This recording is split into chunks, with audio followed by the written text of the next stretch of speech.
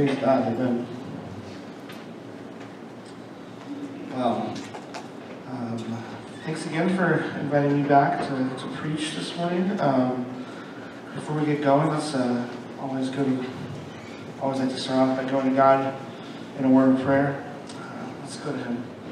Uh, God, just thank you for this day, um, this chance to gather as your people. Lord, I just pray that you give me your words today, that this is not just a motivational speech, but these are the words from you, Lord, that um, may, be something that we all hear, we all take in, but even if it's just one person, Lord, I know that your message has been preached and that um, your people uh, will, will do with it what, what they need to do with it, Lord. Pray all this name Jesus' Amen. All right. Well, once again, thank you again for inviting me, and this, uh, thank you again for some awesome worship, and just, yeah, it was great. Uh, today, I'm going to be doing a, a message called The Fight. Going to talk about what does it mean for us to be, to live our lives um, in, in the fight against, uh, against the, the darkness, the, against the spiritual uh, battles that we fight. Uh, but first, I want to start off with talking about kind of just share a little something about me. Um, I tend to be somebody who kind of likes to debate. Does anybody here like to debate? Like, like yeah, you you know, you end up fighting for something you don't even really believe in. You just want to be the one that fights and annoys your little brother or sister. Uh, that was always me growing up. Uh, I remember, you know, high school, college, um, sitting around with my friends, and we get into, you know, the really important questions in life. Um, you know, is, is hot dog is a hot dog a sandwich? Um, is carrot cake a vegetable? Um, and we can't always forget, um, you know, does pineapple belong on pizza? I'm sure I just triggered about half the room. Uh, people have strong opinions about those things. Uh, one of the fights that I always um, would, would find myself in, because I, I played sports growing up, you know, baseball, soccer, football. You always end up fighting with somebody, what, what is a sport? I've always had, uh, some people believe that a sport has to have a ball or an object, like a puck or a shuttlecock. Uh, but then I always ask, I, I, I kind of counter with, well, if, sport just has to have a ball or something involved with it, it what about the Olympics? You know, you have track and field, you have skiing, you have uh, skating, rowing. You have all these sports. I mean, the, the thing that's supposed to be every four years that, that, that shows us all these amazing athletes throughout the world. And then sometimes I, some people will be like, oh yeah, okay, I, I see what you're saying. And, but then I, people just, just get stubborn and they just say, well, those are activities, those aren't sports. To which I always say, well, what about boxing? The sweet science, as it's sometimes called. Boxing, the, the sport where you get a bunch of buff men and women just standing in a, they call it a ring, but it's a square, uh, stand in the ring and punch each other in the face until somebody falls down. Uh, you try to tell them, you try to tell one of them that they're not playing the sport. And usually most people will say, okay, I see where you're, saying, where you're coming from. And so, uh, we're not going to have a debate about what is a sport, what isn't a sport. We're not going to talk about whether or not boxing is a sport or not today, but it's just kind of my intro to this idea of the fight. And how sometimes life can seem like a fight. And, and, and boxing is one of those sports. I enjoy watching boxing for some reason. I don't know why. Like, sometimes I'm like, why am I, why am I doing this? Or watching MMA. Um, but there's just something about this, this, oh man, I couldn't do that myself. One of the, the, the, the kind of most well-known boxers in history, um, uh, Muhammad Ali, uh, I, I, think Muhammad Ali had a great life story. Uh, and also he had a kind of just like a great, um, attitude. He, he was somebody who was known for kind of always being there for being known for a quote or, or willing to, to talk trash to the other person. He, had, he definitely didn't lack confidence. You know, he famously said, I am the greatest of all time. Uh, he, he, he said, I, I, I float like a butterfly, I sting like a bee. One of my favorite stories, I, I was kind of researching for this sermon, um, a story, I was looking at stories of Muhammad Ali. And he famously, he went on a on an airplane one time, and uh, the flight attendant came and said, "Hey, you need to put on your seatbelt." To which Muhammad Ali responded, uh, "Superman don't need no seatbelt." And the, and the the flight attendant responded, rightfully so, "Superman don't need no airplane." and uh, I, I, just I just think that's hilarious because yeah, Superman doesn't need no airplane. Uh, but I just like that story because it kind of just shows kind of the bravado that he had, and, and he wasn't just known as a well known as a as a as a as a boxer. He was known as a fighter, and that he stood up for what he believed in. Famously refused to to go to Vietnam. He, he stood. He he did. He thought that there was an unjust war, and he paid the consequences for that. Uh, because of that, he had to give up his heavyweight title. He, had, he won the heavyweight title three times. He won the gold medal in boxing. And at the same time, he made a lot of sacrifices. And then as he got older, after he, he, he passed his prime in athleticism, he, he kind of, like I said, he was an inspirational figure in that he showed people um, what it's like to fight against a disease. He had Parkinson's. Um, and he kind of became an inspiration to a whole new generation that way. And I think that's a great example of what it, what it looks like for us to be fighters, not just obviously in a ring and you know fighting an opponent, but for us to be fighters against the things of the world. Sometimes the world it just seems like a fight. I don't know about you, but I've had times where I've just woken up and I just feel like I just got beat up. I just went 10 rounds, you know? Not because of, I physically got punched in the face or anything like that, but because I just, life just seems like it's just coming at me wave after wave after wave, and I keep getting knocked down over and over and over again. And sometimes it's just tiring just to keep getting up. Uh, another another well-known uh, fighter a couple years ago, uh, Ronda Rousey. Um, some of you might be MMA people, might be. Um, and uh, she she was uh, she won the title over and over again. She was undefeated until one day, this, this other fighter came and her name was Holly Holm and she just kicked her butt.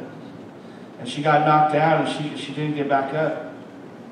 And this woman who seemed undefeatable all of a sudden was defeated. And I, I yeah, I can relate. Or sometimes it feels like, hey, I'm, I'm, I'm, I'm I'm rocking. I'm doing things. I'm doing things the way that I want to be doing them. You know, things are going my way, and then all of a sudden I'm on the mat. Another famous fighter, Mike Tyson, said, uh, "Everybody's got a plan until they get punched in the face." Which, yeah. Uh, I, I got lots of plans until something happens that I'm not expecting, and next thing you know, yeah, I'm getting punched in the face, physically, metaphorically. And in reality, that's what life is. Life is a bunch of unexpected turns. It's a bunch of times where we just we, we feel like we're getting knocked down over and over again, and it's hard to get up. And there's just things that happen to us that we're not expecting. They, you know, come out of left field. Um, I can relate to this. Earlier this year, I, I started off in January. I was um, bivocational. I was working at a at a ministry out, out in Gilbert, and uh, my boss told me, hey, can you come in early one, one day? And I said, sure. Just think it was just a normal meeting. And then I was let go. I nothing I had done wrong or anything like that. Just that was the way that the business was going. Um, and so I had to pivot my life in a lot of ways. You know, how am I going to make money? How am I going to support my family? Uh, divorce, uh, money troubles, a death of a loved one. Oftentimes there's just these things that are outside of our control that can just knock us down. And sometimes we're fighting, we're fighting within our, our own selves to control things about ourselves that we know we need to control. We might have anger issues, we might have jealousy issues, we might have lust issues, we might have issues in our heart that we know that you know I, get, I need to get a control on this. As uh, it's on the cover of your your bulletin, uh, Second Timothy, Paul says, "I have I have fought the good fight." And then in 1 Corinthians 9, 21, 9 26, he says, Therefore I do not run like someone running aimlessly. I do not fight like a boxer beating the air. Sometimes we got to be strategic, right? Sometimes we get knocked down and we just keep doing the same thing over and over and over again. And what's the definition of insanity again? Do the same thing over and again and expecting different results, right? Oftentimes we, we think we can handle things on our own. In reality, what we need to be doing is we need to be looking to God. We need to be counting on the Holy Spirit and saying, God, I can't do this on my own. Help me. We need to be strategic. We need to have a purpose in the ways that we fight our battles. And we can't just hold things in because that's the way that things begin to fester. That's the way that like cancers form. That things just get held in, things don't get get talked about. In reality, we need to admit our faults to God. We need to honor Him, and He will be there because He is there fighting for us. The truth is, is that oftentimes I think we focus our the, the issues, the things that we're fighting in our life on people. When reality, we need to focus on, on what's really happening, the kind of the underlying, the thing, the thing underneath the thing. It's, a spiritual battle. Oftentimes with my kids, I know my daughter, she'll get upset. She just feels all the feelings. She's six years old. Um, I was, she was upset yesterday, and I was sitting there, and she was on my, sitting on my lap, and I was like, you know, what, why are you mad? And she told me, you know, her brother did something, and I said, you know, like, what, how did that make you feel? Let's get to the, let's get to the underlying issue. And what the underlying issue is, is that, you guys, there is a spiritual battle happening in this world, and we are in the middle of a fight, and, and, and, and God and there's a God of the universe who wants to be there and fight with us and fight for us. Ephesians chapter 6. I should have that up right uh, Ephesians chapter 6. Uh, did I give you the wrong verse? Oh, oh. Okay, next slide then. Uh, for our struggle is not against, this is Ephesians chapter 6, verse 12. For our struggle is not against flesh and blood but against the rulers, against the authorities, against the powers of this dark world, and against the spiritual forces of evil in the heavenly realms. Our struggles are not against flesh and blood. Oftentimes, I think that's the way that we get stuck. We are fighting a, a person, a thing. Reality, we need to know that we are fighting a spiritual battle. I think there's two kind of ruts or problems that we can have with spiritual battles. I know sometimes people, when you talk about things of spiritual nature, you either fall into one of two camps. You can either be the person who over spiritualizes everything. I, please don't hear me calling anybody out or anything like that. Uh, I know people who, you know, prayed, God, just give me the right parking spot. God, which breakfast cereal should I pick? God, let all the green, let all the lights be green because I'm running late for work. And not to say that God can't do those things. I think God can. He's God. Uh, but I think oftentimes we, we kind of overemphasize that everything in our life is, spirit, is, is, is a spiritual battle. But then I also think, especially here, being here in America, where we are, we have, we are, let's just face it, we are comfortable compared to a lot of people in the world we kind of fall into the second category of we just don't think about the spiritual realm. There's a movie that I like from the 90s called uh, The Usual Suspects. There's a great quote in there that says, the greatest trick the devil ever played was convincing the world that he didn't exist. And sometimes we forget that there are there are demons, there are, there, there are things that are out there that are fighting for our soul, and we just think, oh, that's not, that doesn't have anything to do with me.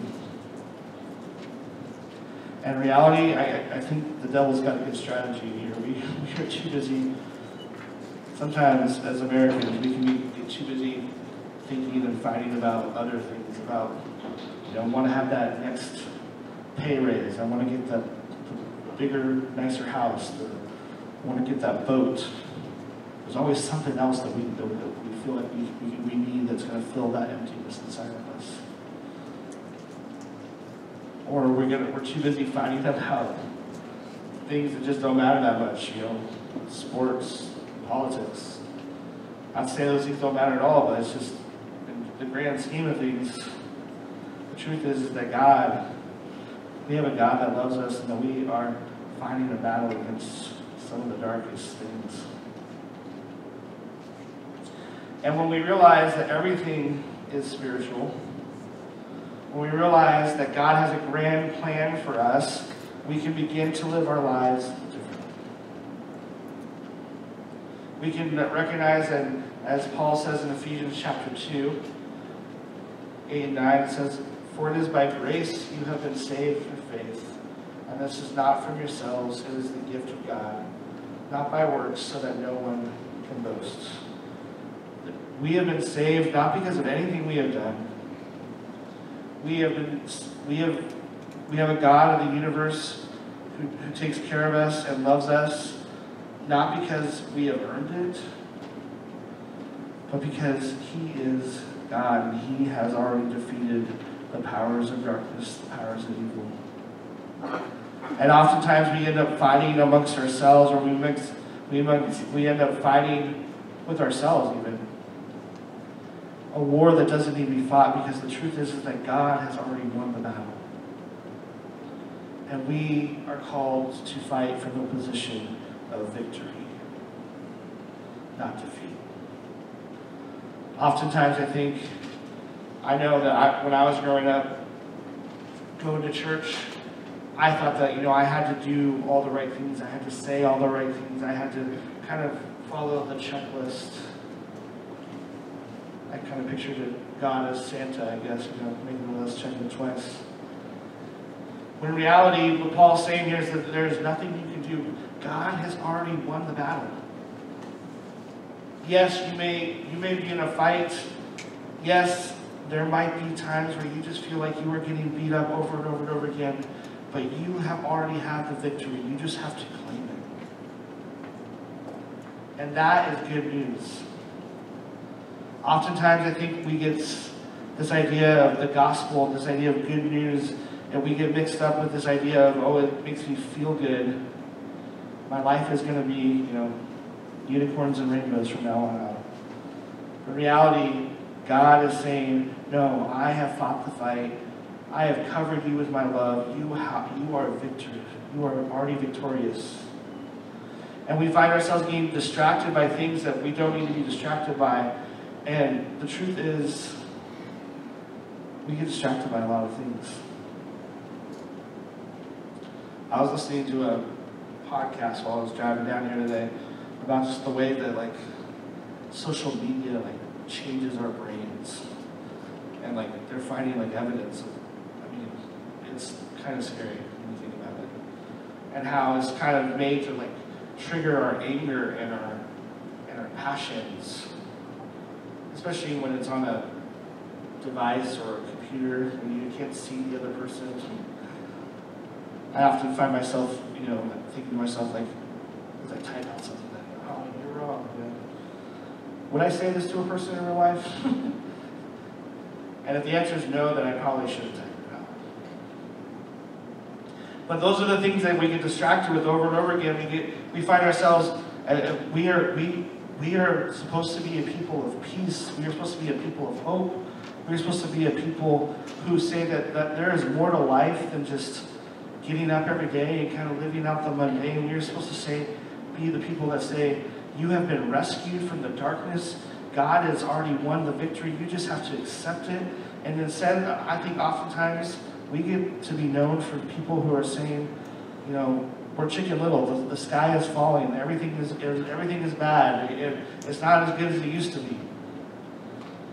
Which might be true, but you know what? Unless unless you have a time machine, we're not going back to that. We are called to tell people that there is a better way to live life. And, and, and sometimes we can lose our direction. Sometimes we can lose the way that, that, that God wants us to live. And what he's telling us in this, in this book is he's saying that you might be in a fight, you might be in a spiritual battle against the, the, the spiritual things, the, the darkness of this world. But guess what? I have already won. Jesus is standing at the top of the podium and he has wearing the gold medal and he's telling you, hey, get up here. And he's giving it to you right there. So you don't even have to do, you don't even have to compete. I'm giving you the victory. And when we forget that, we can lose sight of what it means to follow Jesus.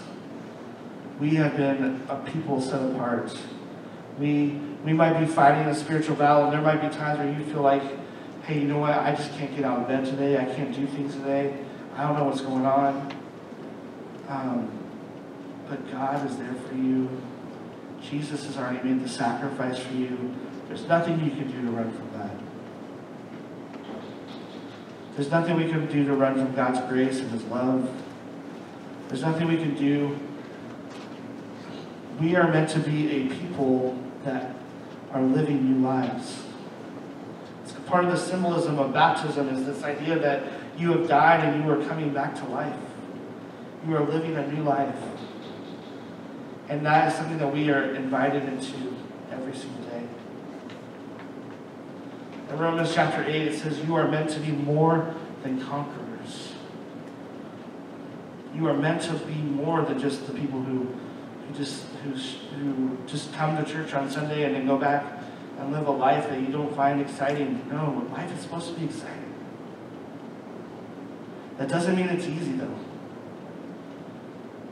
At no point does God promise us easy life.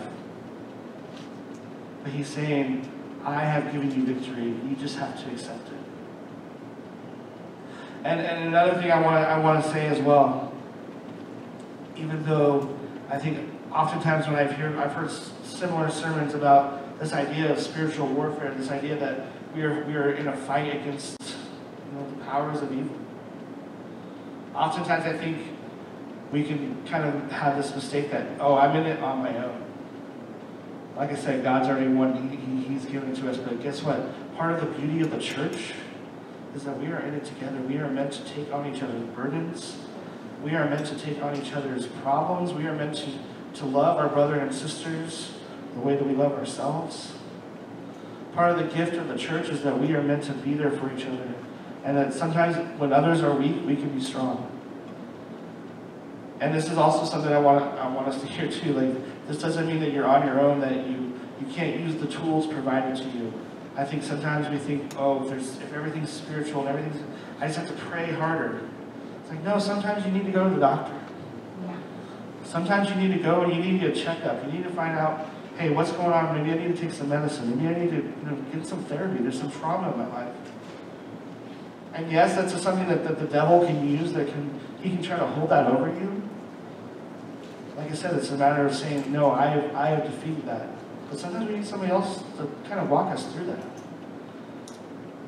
And I want you guys to know that, that to be, to, to, to live in that spiritual victory, to be the people of God who, who say, you know what, I have defeated the powers of evil of this world I, because I am one with Christ, means that sometimes we have to look towards others to help us out as well. That means that sometimes, you guys, the beauty of the church is that we come here and we don't say that we are perfect. We say that we are broken and we are in the need of a Savior. And sometimes when we admit that we are broken, it means, hey, guess what? I need to lean on you. Or you say to somebody else, hey, you need to lean on me. Sometimes we can't even admit it to ourselves that we are in a tough spot. So life might be a fight Life might be, uh, feel like sometimes you're just getting knocked down over and over and over again. But guess what? We already have victory because we, we are we are one with Jesus. We already have victory because we are a, a, a people of God who are meant to, to share each other's burdens and meant to love each other and meant to, to, to help each other out in these difficult times. And we are a people of victory because we are meant to tell the world there is a different way to live life. There's a better way to live life. You don't have to just always just feel like, you know, you're on your own. Or you don't have to always feel like, you know, I'm, I'm just fighting something that I, I, I can't I can't defeat. We are here to say, no, you can defeat it, and God has defeated it for you, you just have to take part.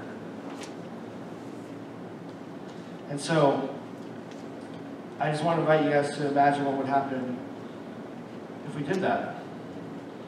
Imagine if we chose to to live our lives from a point of victory as opposed to defeat. To live our lives not angry, but full of joy, full of hope and compassion. And I, I think, I think we could change the world. I think we could change the way that people see the world.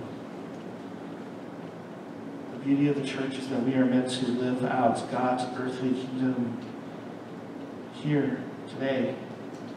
We are meant to be an example of what it means like for God's heaven to come to earth.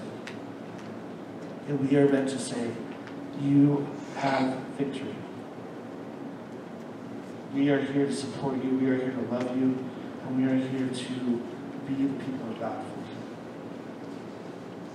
Let's pray. God, thank you for, for the gift that you've given us in your Son, Jesus, Lord. Thank you for not allowing our fight to be something that we handle on our own, Lord, that you have given us victory over the darkness, Lord. And that when we follow you, we are joining with you in that victory. We are saying that there is more to life, there is joy, there is hope, there is compassion, there is more to living life than just always fighting the darkness. And that we know that Jesus Christ has come to save us and, and we know that we have we have taken part in his victory as well, Lord. Has given us the gold medal, and we don't even have to do anything to earn it. God, I just pray that as I as I leave this place today, that, like I said, that this is your message, that it's something that can impact those who hear it, Lord. Whether it's in this room or watching online or, or watching on YouTube, Lord, I just pray that this is a message that speaks to those, to somebody out there who needs to hear it, who needs to know that they they are not just worthy, but they are victorious, and that they are loved, and they are called to, to be. Pray all this in the name of Jesus. Amen.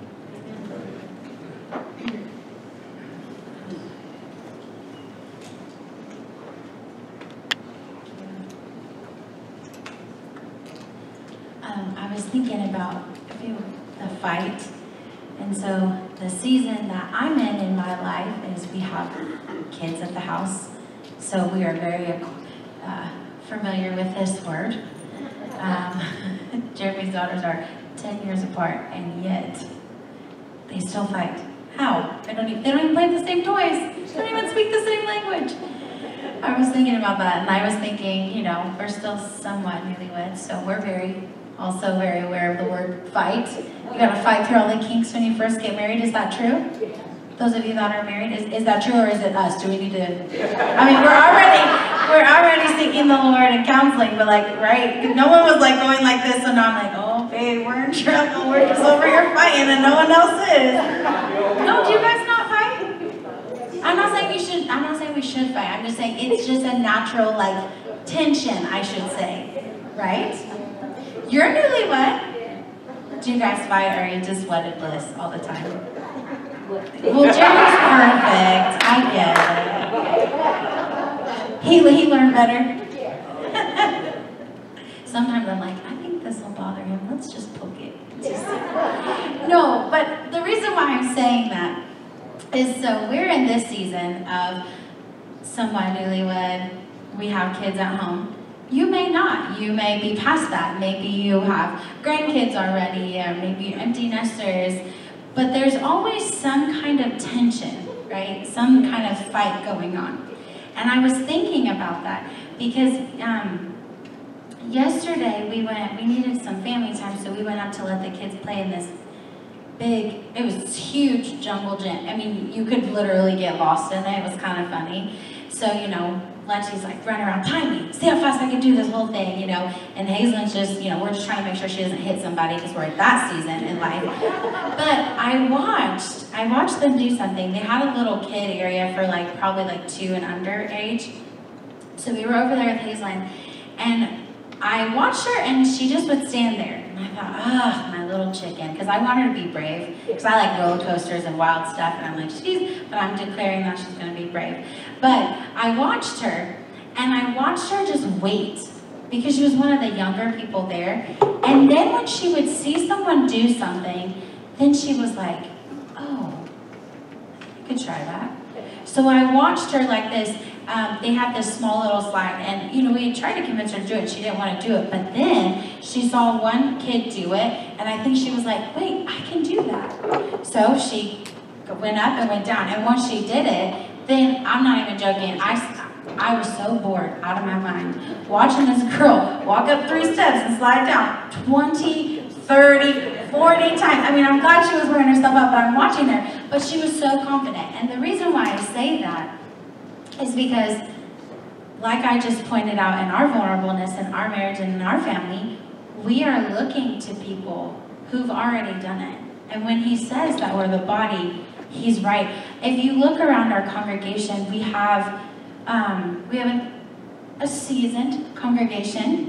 We have a couple scattered in their 40s and 50s, and then we have like a few of us, right? And so we are looking to you to show us how to fight the good fight, how to fight for our marriage, not fight with each other, right? And um, you know, we we have a preteen in our house, like like we need prayer, but we also need people who've already done it because someone's not leaving surviving. So it, and I'm strong, so I feel bad for Lexi. But I'm just saying we need that. And so the body of Christ, and I'm talking about that in a family unit, but I'm talking about it with anything. If you fought an addiction and you, through Jesus, God is the conqueror, like you said, He's the victor, but through Jesus, if He has already made you victorious, then you better start showing us what you did in that fight, what God did through you, because we need it. If we're supposed to take over the church, what does that look like? This I've only been without my dad for two weeks and I'm like, oh my goodness, what does he do? He does so much. And I'm like, there's no way. But I'm learning because at some point it will be my responsibility, not necessarily here, but I'm just saying to, to take on the church, to lead it, to, and, and so I ask you, if you're fighting the good fight and you, and you are, and what does that look like? Because we really do need each other. We really do. So instead of saying, hey, it's good to see you, oh, you look so nice, and then leaving, let's actually be the body of Christ. Right? I mean, I'm not saying don't go give unsolicited advice. I don't need everyone's marriage advice right now. I'll be overwhelmed because that's my personality. I'm hyper vigilant. I'll be way overwhelmed. But I'm saying that as God gives you victory, right? We're free, so we actually get the authority to help other people be free. That's what Jesus did with the disciples. And so I just pray that we would begin to be a body together and that we truly would fight together because our battle is not with each other. Our battle is not even actually with the people out there. So we have to remember that. So did that encourage you? Did that go with you? Do you feel like good? Okay. I'm supposed to do the closing, and I don't really know what that is. Tomorrow, next week, I'm just coming with a joke. Because y'all need to know how messed up these kids are. No, I'm just Father, we thank you for this day. We thank you for the body of Christ, that each one of us is a part of that body. Each one of us is a different part of the body, and it's a good part. It's a godly part. It's a part that you created. I pray that we would work together, that we would carry one another's burdens. I pray that we would pray for one another, we would fight for one another, and I thank you, Lord, that the victory is yours, that you have already won, and so those who are in you have already won. Thank you, God. I pray that you would continue to keep these doors open, that you will continue to keep these ACs running, that you will continue to plant seeds in the hearts of the people here so that we can truly be one of many churches that is seeking the lost. We thank you for leaving the 99 for us. Help us to do the same. In Jesus' name. Amen. Okay, we're done talking. We hope you have a great Sunday, a great Sabbath. Don't forget tithes and offerings in the back. We will see you next week, okay? Sound good? Okay.